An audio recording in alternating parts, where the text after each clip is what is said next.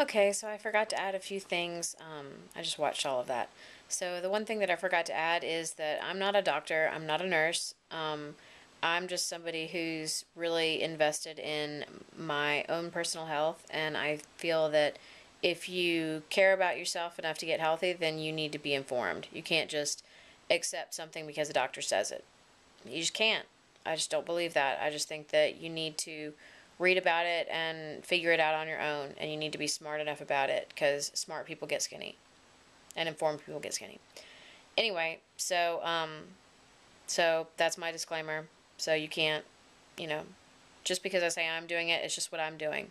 Um, but I really encourage you to read about it yourself and and figure out for yourself what you're going to take, vitamin wise or whatever you're going to do health wise. Um, the other thing I was going to say is that today was our first um, num- day number one of our VLCD. Um, this morning I had coffee and I actually did put some sugar free hazelnut um, Coffee-mate in there because um, I've seen a few people that have done that with good results. And so I made sure that I measured and I didn't, you know, overdo it. I measured it. But, um, and I didn't even drink all of the coffee. So, you know, that was good. And then for lunch, we had um, my tomato and chicken soup that y'all saw me make in the um, in the oops, that's my phone. Probably my boyfriend saying he's on his way home. Yay! Um, anyway, so we had a chicken and tomato soup for lunch with a big salad of romaine lettuce, and I put a little bit of cucumbers and green peppers on it for garnish and a little bit of crunch. Not a whole lot, just enough to be crunchy. And then I made a dressing actually out of some melted coconut oil with um, a tiny spoonful of this um, apple butter that I have that is the only ingredients in it are apples and apple juice. And it's only 20 calories a serve or a tablespoon, but I didn't even use a tablespoon. I used like a teaspoon for um, a little bit of sweetness. And then I also used um, a little spoonful of a whole grain mustard that I have that doesn't have any sugar in it. The only ingredients are like mustard, salt, and apple cider vinegar. And then I did use balsamic vinegar. Now, I use an aged balsamic vinegar that comes from Italy that is made of nothing but red wine, aged red wine, because that's all that's all that vinegar is is is wine that's turned and um and then if you age it, it'll get syrupy if you do balsamic vinegar but you have to pay attention to make sure that there's no um, additives in it like caramel or any kind of sugar or sweetener in them because a lot of times cheaper vinegars will be made syrupy like an aged vinegar by using cheap sugar or syrup or something like that. So you have to make sure that there that's the only ingredient is red wine and so um, I found that actually at World Market. It's in a little, um, I don't have it up here with me, but it's in a little um, round glass bottle, and it was only about $12. But we found it last round, and it really, we used it the entire round as salad dressing just by itself because it's thick enough that it has a little bit more viscosity for a salad dressing than just plain vinegar. But today I added it to the vinaigrette with the melted coconut oil, some a spoonful of nutritional yeast, Bragg's nutritional yeast, and some salt and pepper and garlic powder. Garlic powder was in it. But, um, you know, it really wasn't very much dressing. It was probably a tablespoon of dressing per person. But um, it was just enough to be, and it was still very bright and tangy, like a just a vinegar dressing would be. But, um, but I really, I'm okay with putting all of those ingredients in my body that were in, in it, and and I feel certain that it'll be okay on um on HCG for us. But it, you know, if you're one of those people that sticks straightly to the strict protocol, good for you. Um, and I was going to say, you know, as we encourage each other on HCG, I think it's really important that you encourage people to follow their journey and not to necessarily have to follow yours.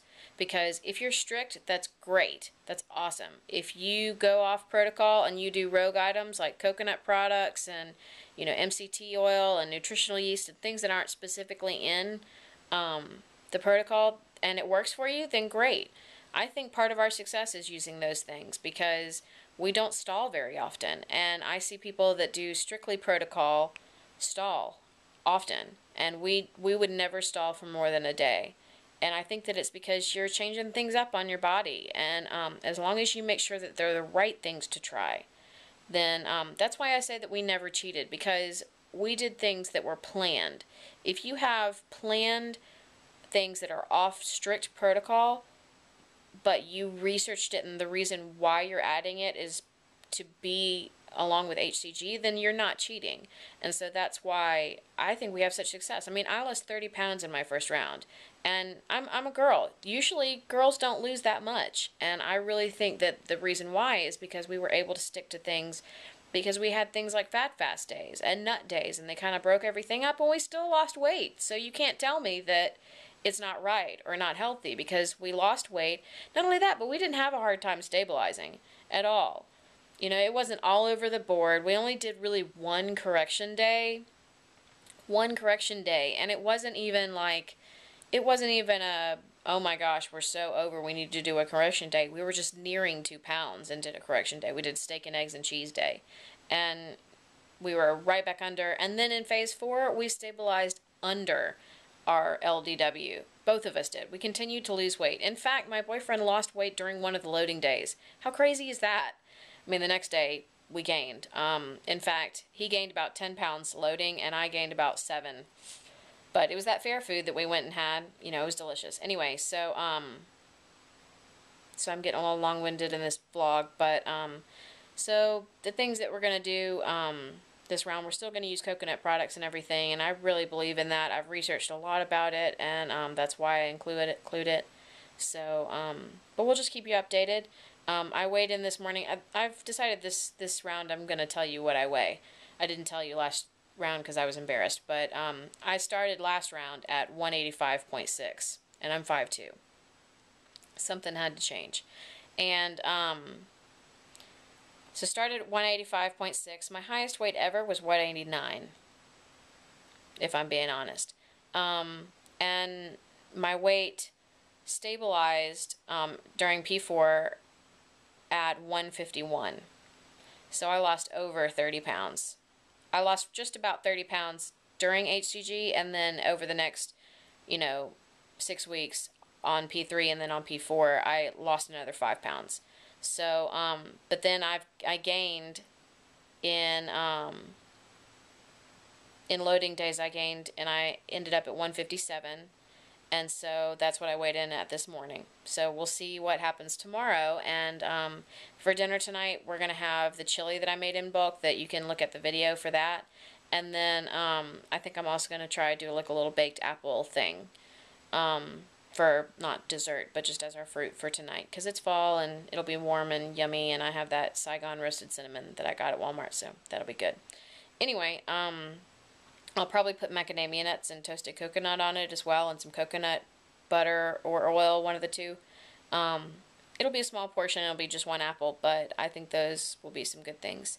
So, yummy. Anyway, um, lots of love to you guys out there, and um, I look forward to doing more vlogs, and hopefully I can do one every day, or maybe every other day, we'll see.